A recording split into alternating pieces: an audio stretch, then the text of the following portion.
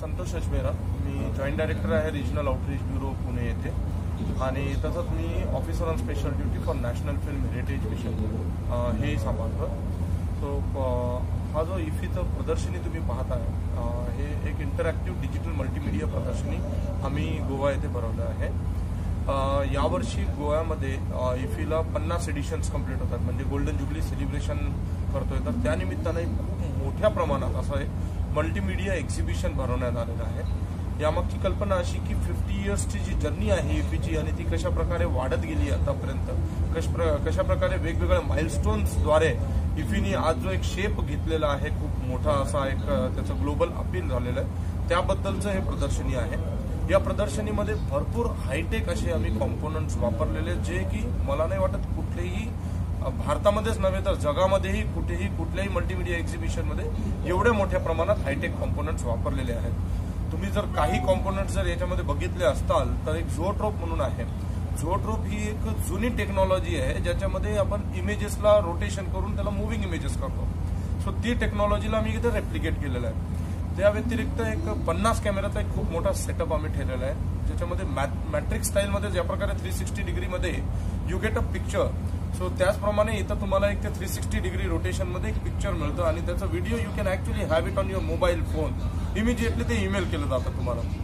तर याच्याच व्यतिरिक्त जर तुम्ही बघाल तर एक three sixty degree immersive experience आम्ही तयार केलेला आता थ्री सिक्स्टी इमर्सिव्ह एक्सपिरियन्स काय आहे? तर तिन्ही साईडला तुमच्या स्क्रीन्स असतात वॉल्स असतात. And that is based on the एक नेदरलँडमध्ये आय इन्स्टिट्यूट आहे film institute which has a wonderful museum तिथं हे इमर्सिव्ह एक्सपिरियन्ससाठी एक तयार केलेला असा एक एक्सपिरियन्स कॉर्नर आहे. तो आम्ही इथं रेप्लिकेट केलेला आहे. या व्यतिरिक्त या एक्झिबिशनमध्ये ऑगमेंटेड रियालिटी व्हर्च्युअल रियालिटीजचे भरपूर कॉम्पोनंट्स आहेत. तुम्ही जी इन्फॉर्मेशन ऍक्सेस करता ती ऍक्च्युअल टच पॅनल्सद्वारे तुम्ही इन्फॉर्मेशन ऍक्सेस करता. सो भरपूर प्रमाणात touch panels vertical display panels आम्ही वापरलेले आहेत. So you can go through the complete journey of IFFI through this multimedia exhibition कंटेंटबद्दल जर मला सांगायचं झालं सो यामध्ये राईट फ्रॉम वेगवेगळे जे अवॉर्ड्स आहेत इफीमध्ये ते केव्हा कॉन्स्टिट्यूट झाले ते कुणाकुणाला मिळाले त्यानंतर इफीमध्ये कुठले फिल्म्स आधी होते त्यांना कशा प्रकारे रिस्पॉन्स मिळाला त्याबद्दलची माहिती. त्यानंतर इफीचा जो मीडिया कव्हरेज आहे over the fifty years period तो कशा प्रकारे झाला त्यानंतर इफीमधले जे इम्पॉर्टंट फोटोग्राफ्स आहेत त्या फोटोग्राफ्सला व्यवस्थितरित्या आम्ही म्हणजे कोलाज म्हणून बनवलं आहे त्याला if you click on the photograph then you can actually go into the information so अशा प्रकारे भरपूर माहिती याच्यामध्ये ठेवलेली आहे. या ही माहिती जेव्हा आम्ही बनवत होतो सो नक्कीच तुम्हाला प्रश्न पडला असेल की कशा प्रकारे एवढा मोठा इफीचा इतिहास आम्ही एका ठिकाणावरती आलो सो जर हे बघितलं तर हे काही सोपं टास्क नाही आहे भारतासारख्या देशामध्ये जेव्हा आपण एक डिजिटल टेक्नॉलॉजी आज वापरतो आपण आपले स्वतःचे फोटोग्राफ्स काढलेले एका महिन्या आधीचे फोटोग्राफ्स आपल्याला सापडत नाहीत. आपल्याला वाटतं की आपण कुठेतरी कम्प्युटरमध्ये सेव्ह केलेले आहेत पण जेव्हा आपण ते पाहायला जातो तेव्हा ते आपल्याला सापडत नाही. तर आ- अशा या डिजिटल दुनियेमध्ये मागचा पूर्ण इतिहास कलाउट करणं वॉज अन हर्कुलियन टास्क खूप मोठा असा टास्क होता.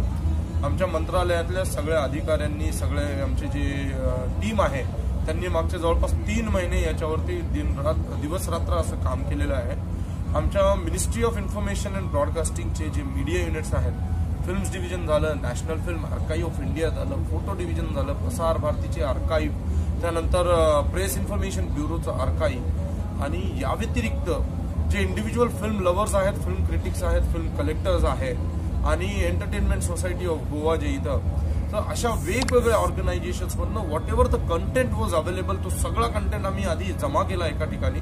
मग त्याला अशा प्रकारे सेग्रिगेट करून कंपायलेशन करण्यात आलेलं आहे की ज्यामुळे तो कंटेंट तुम्हाला खूप इंटरेस्टिंग वाटेल. तुम्हाला असं बिलकुल क्लटर असं काही वाटणार नाहीये. You will actually get the information within a glimpse आणि भरपूर काही या मल्टीमिडिया एक्झिबिशन मधनं तुम्ही स्वतःकडे घेऊन जाऊ शकता. It's an interesting and amazing multimedia exhibition माझी सगळ्यांना रिक्वेस्ट आहे की तुम्ही या एक्झिबिशनचा जरूर जरूर लाभ घ्यावा. थँक्यू